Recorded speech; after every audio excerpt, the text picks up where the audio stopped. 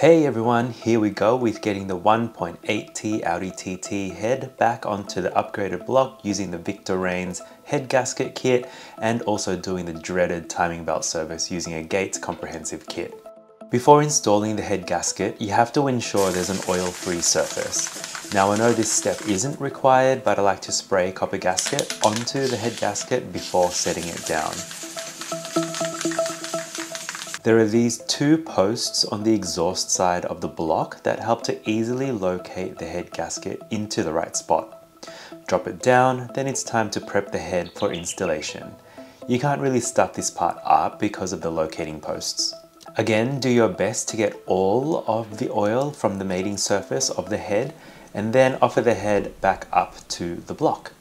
The two locating posts have their receiving ends in the underside of the block and again, it's impossible to get the location wrong due to those locating posts. Once the head's on, you can drop the 10 head bolts into their locations. They're M10 Polydrive 120mm long bolts. Now the next part is super important to note. There's a very specific procedure to follow when torquing the head bolts. Tightening starts in the middle and you work your way around the bolts in a crisscross pattern, tightening down in several stages. So you saw that the first stage is tightening by hand until the bolts grab. The second stage is to follow the pattern and tightening down to 40 newton meters. Then with the breaker bar, follow the pattern again and do a 180 degree rotation or split this into a round of two 90 degree final turns.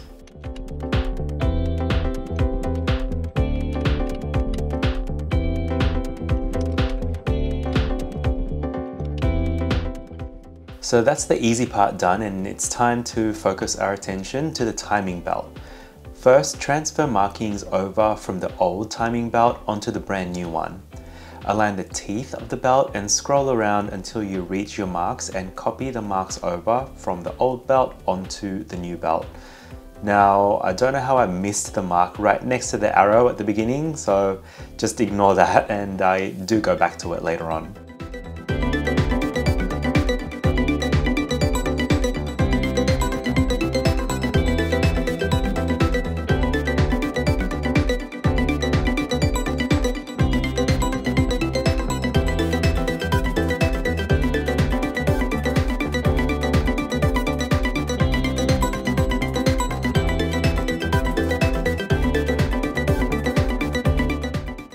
Before putting the timing belt on, triple check the timing on the head and the block at that they're lined up to their marks, meaning it's at top dead center.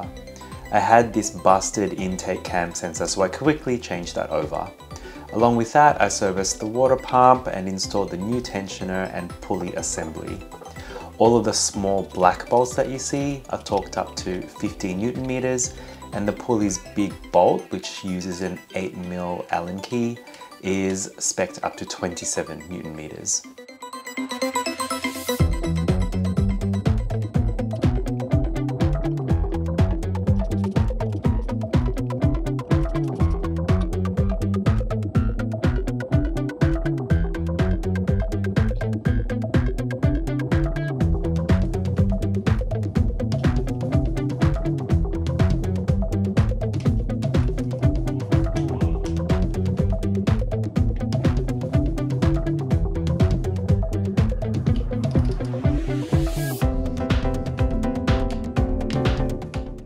Now this is the fun part. Joking, it's definitely not fun.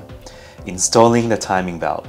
Now what makes this difficult is that the belt becomes so super tight once you get all of but one section installed. You'll see this happen in a second. I like to line up the top mark and clamp at the exhaust cam gear. Work the belt down to fit over the water pump sprocket and then at the crank sprocket. You can see it's so tight that it's difficult to get it past the last bit over the water pump.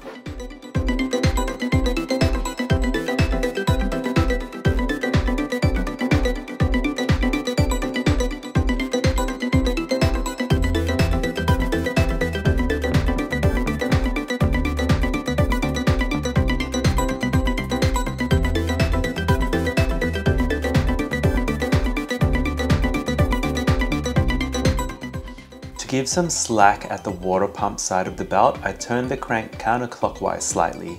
You can see that it gives me more slack to the right side of the belt and this is where it takes some fiddling of the water pump sprocket to get the teeth aligned and then the belt should push on. Once on, you can start pressing it all the way in so it's got full contact to the sprockets. You might also need to go around in an even manner to get the belt on.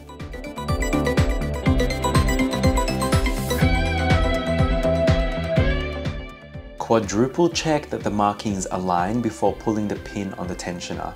This is a fiddly job but can be made much much easier if you were to use the 2 litre TFSI manual pulley setup which I'll link to in the description below. Next is to remove all of the tape on the inlet and exhaust ports to test the timing. Manually turn the engine, watching the timing marks, making at least two revolutions, and then you want to recheck those timing marks are still aligned. If so, the timing is correct and that's all done. I also wanted to seal up the head next, but I didn't have the cam chain tensioner tool on hand, so I moved on to the manifolds.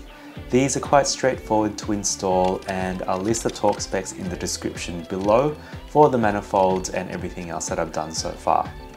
I like to torque these from the inside and out using the same crisscross pattern. Now I'm not sure if that's important, but I do it anyway.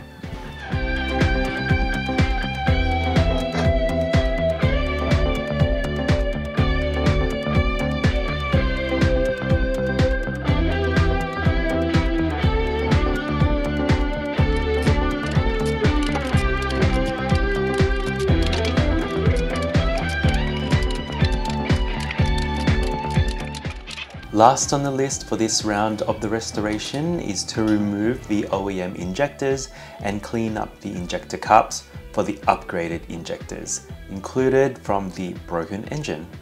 This should support the hybrid Franken Turbo make the best power that it can. Torque these up and that's where I'm going to leave it for now. I'm so glad to be well past the halfway point and rebuilding instead of tearing apart. To see more of the Desert Green Pearl Audi TT Mark 1 Roadster restoration, click on the playlist and remember to like and subscribe for more updates. Thanks for watching.